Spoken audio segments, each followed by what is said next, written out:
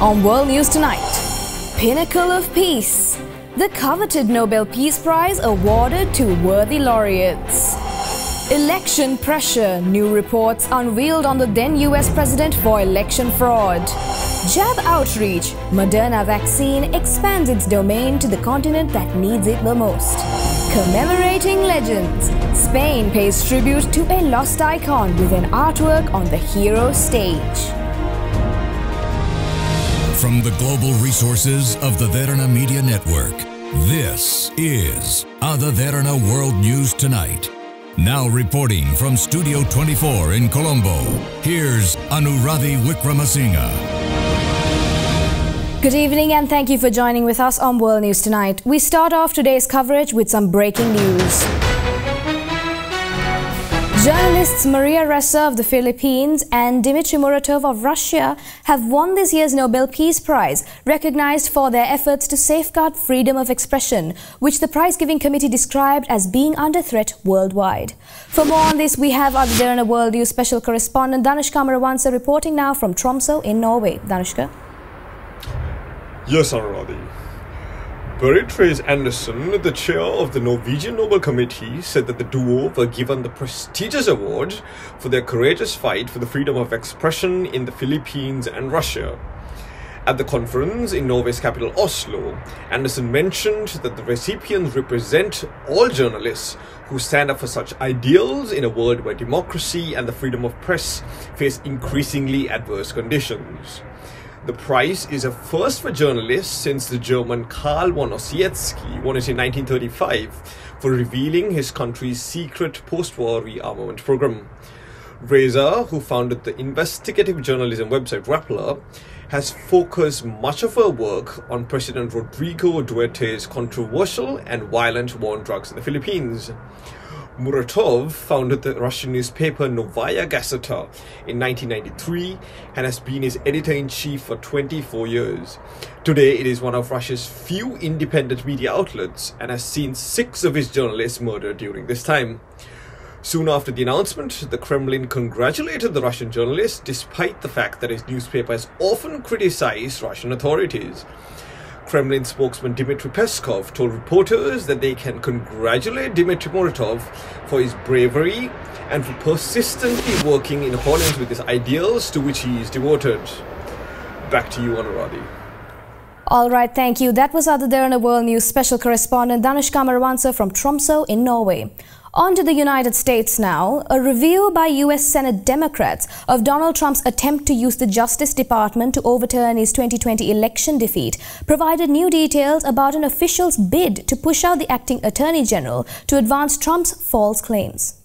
Former President Donald Trump would have shredded the Constitution to keep his office in the presidency. A new report released Thursday laid out the lengths to which Democrats say Donald Trump pressured the Justice Department to overturn the presidential election result, including by trying to oust its top official. We were a half step away from a full blown constitutional crisis. The review by the Senate Judiciary Committee, chaired by Democrat Dick Durbin, details how Trump was growing angry that acting Attorney General Jeffrey Rosen would not launch a public investigation into the false claim that Trump's defeat to now President Joe Biden was the result of widespread fraud. Rosen himself had taken the reins from William Barr, who resigned as Attorney General in the weeks after the election after publicly undercutting Trump by saying that the DOJ found no sign of systemic voter fraud. According to the Senate review, Trump ultimately tried to remove Rosen by asking Jeffrey Bossert Clark, then a senior Justice Department official and Trump loyalist, to step into the AG role. Durbin on Thursday laid out why that didn't happen. The White House counsel, Pat Cipollone, dissented from the president's position and said it was a murder suicide pact for him to engage in this. Secondly, at that point, the eight leading officials in the Department of Justice all signed a letter saying that they would resign in mass if there was a replacement of the acting Attorney General by Mr. Clark. That meeting, Durbin said, took place on January 3rd. We know what followed. In a matter of three days, this present, former president, desperate in his situation, having failed in every court case, having failed to take over the Department of Justice, decided to take his cause to the streets. We saw it in the United States Capitol three days later on January 6th. The president turned loose a mob, a mob that was supposed to stop us from counting the electoral votes and electoral ballots. Republicans on the committee issued their own report, which drew different conclusions. Ranking member Chuck Grassley said Trump, quote, did what we'd expect a president to do on an issue of this importance. He listened to his senior advisors and followed their advice and recommendations. In Southern California, the first class action lawsuit has come into effect against the owners of the broken oil pipeline by businesses that say they were harmed by the massive oil spill. This comes as the U.S. gets the first look at the damaged pipeline.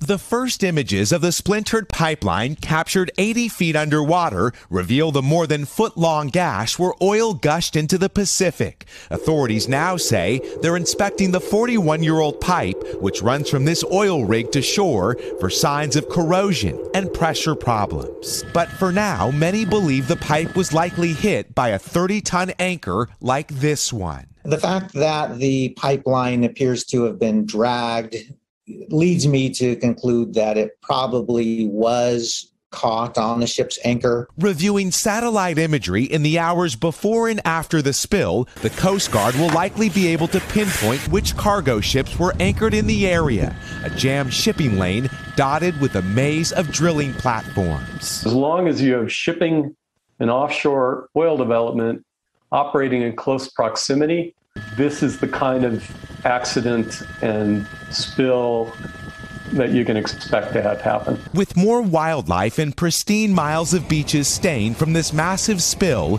tonight the search for answers and the probe to hold someone responsible. The beleaguered chief of Angela Merkel's CDU party signaled that he was ready to step aside as leader of the Conservatives after an election debacle that left them on the brink of opposition. Nearly two weeks after the Christian Democratic Union's worst election result in history, the party's leader Armin Laschet signals that he's ready to step down. The centre right leader says he will resign if there is consensus in the party for a new successor. His announcement came as no surprise. Laschet has faced mounting pressure to resign in the wake of September's election debacle. In spite of suggesting that he would step down, Laschet says his CDU party is ready to form a so called Jamaica coalition with the Free Democrats and the Greens. On Wednesday, however, the Liberal FDP and the Greens sided with the centre left SPD, who won more than a quarter of votes during last month's election. The CDU's chances of being in government dwindled further Thursday after what the Liberals, Greens, and the Social Democrats described as a positive start to their coalition talks, increasing the likelihood that the CDP's Olaf Scholz will become Germany's next chancellor. I sensed in the discussion that we could create something together. What we've agreed on the basis of today's good talks is that we'll continue on Monday. We'll now use the weekend to prepare an intensive week of exploratory talks. A historic three way coalition between Germany's FDP, Greens, and the SPD could end the centre right's 16 year hold on power. But experts say that due to the complexity of a three way coalition, it's unlikely that Germany will have a new government before Christmas. Let's go in for a short commercial break. More world news on the other side.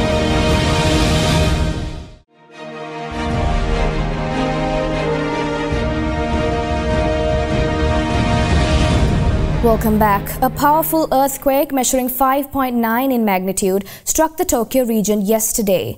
The quake caused buildings to sway from side to side, but no serious injuries have been reported. However, train lines were stopped and the power went out in some areas. Thankfully, no tsunami was triggered. A massive earthquake with a magnitude of 5.9 shook Tokyo and surrounding areas overnight on Thursday. The quake started at around 10:40 p.m. local time in the Chiba prefecture east of the capital, registering an intensity of 5 plus on Japan's seismic scale of 0 to 7 in areas like Tokyo and Saitama. The tremors were strong enough to stop trains, burst water pipes, and cause power cuts across the cities. Newly elected Prime Minister Fumio Kishida immediately set up an emergency response task force to provide everyone with the latest information. The quake occurred just three days after the new prime minister took office. Local outlets have reported at least 20 injuries as of early Friday morning, but no deaths or major structural damage. Japan Meteorological Agency added that the country is not at risk of a tsunami. However, they urged people in the greater Tokyo area to stay alert for the next seven days in case more earthquakes come their way. They also described Thursday's quake as the strongest to hit the capital region since 2011. In March of 2011, a 9.0 magnitude quake shook the country's northeast and damaged the Fukushima Daiichi nuclear power plant, which still remains as the world's worst nuclear crisis after Chernobyl. Japan accounts for around 20% of the world's mega earthquakes with a magnitude 6 or greater. The UK moves one step forward by relaxing travel restrictions for some fully vaccinated nations with India included in the green list. For more on this, we have Ada Derana World News special correspondent Dilini Seneviratne reporting now from London in the UK. Yes, Anuradhi. Britain's Transport Minister Grant Shapps announced that Britain will scrap tough COVID-19 quarantine requirements for 47 destinations, including South Africa and Thailand. The changes will make it easier for people to arrive from countries including India and Turkey in the latest relaxation of the rules. The tourism industry has essentially lost two full summers after travel restrictions imposed to contain the spread of COVID-19 deterred many people from going abroad. Many countries with high infection levels were put on a red list, requiring arrivals to spend 10 days in a government provided quarantine hotel, while the need for a PCR test and other tests often cost more than the flight itself. Seven countries will remain on the red list, including Colombia, Ecuador, Panama, and Venezuela. He has also eased the rules for countries such as India, Turkey, and Ghana, meaning that the inoculation status of arrivals will be recognized and fully vaccinated arrivals will only need to take a test on day two to check for COVID 19. Back to you, Anuradhi. All right, thank you. That was Ada Derana the World News special correspondent Dilini Seneviratne reporting from London in the UK. We have some good news for you. Pfizer and BioNTech have asked US regulators to approve emergency use of their COVID-19 vaccine for children aged 5 to 11, and the vaccine could be ready for rollout as early as November. A COVID 19 vaccine for kids could be just weeks away. That's after Pfizer and BioNTech asked the U.S. Food and Drug Administration to approve emergency use of their vaccine for children aged 5 to 11. White House COVID 19 response coordinator Jeffrey Zients told CNN the vaccine for young children could be ready to roll as early as November. The FDA set a date of October 26th for its panel of outside advisors to meet and discuss the Pfizer BioNTech application. It's possible for kids to begin receiving the vaccines shortly afterwards. Zients told CNN, We are ready. We have the supply. We are working with states to set up convenient locations for parents and kids to get vaccinated, including pediatricians' offices and community sites. Rapid FDA approval could help mitigate a potential surge of cases this fall, with schools already open nationwide. Children currently make up about 27% of all U.S. coronavirus cases and an increasing percentage of hospitalizations, according to the American Academy of Pediatrics. With more good news, Moderna plans to invest up to $500 million to build a factory in Africa to make up to 500 million doses of the mRNA vaccines each year, including its COVID-19 shot, as pressure grows on the pharmaceutical industry to manufacture drugs on the continent. Facing pressure to supply COVID 19 vaccines to the developing world, Moderna says it'll build a plant in Africa. The company said Thursday it plans to invest about a half billion dollars to produce up to 500 million doses of mRNA vaccines each year, including its COVID 19 shot. It hasn't decided upon a country or location yet, but will decide soon. It said the site will also include bottling and packaging capabilities. Moderna will become the first company to build its own plant on the continent. It has supplied more than 500 million doses of its COVID 19 vaccine so far. In July, rival Pfizer and its partner BioNTech struck a deal with a South African company to make and deliver around 100 million vaccine doses a year. While the companies are ramping up to supply vaccines, they're less willing to share their technology. many Western drug makers received government support to develop vaccines, but they strongly oppose calls to transfer intellectual property to make them. They argue they need to oversee any tech transfer due to the complexity of the manufacturing process. Shares of Moderna, which have fallen by a fifth in just the past five days, rose in early trading Thursday.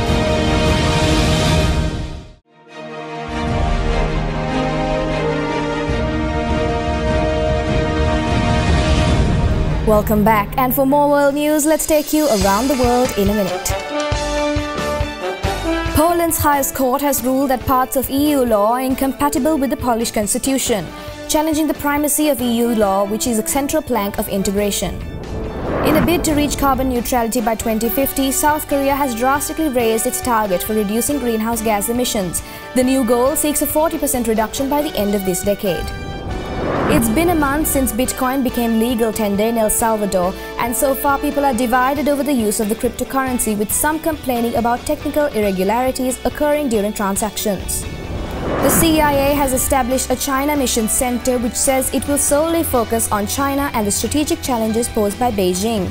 The CIA said it wants to address the global challenges posed by Beijing that are critical to US competitiveness. Hundreds of children in Kenya's malaria-prone western region were inoculated with doses of Mosquirix, the world's first approved malaria vaccine.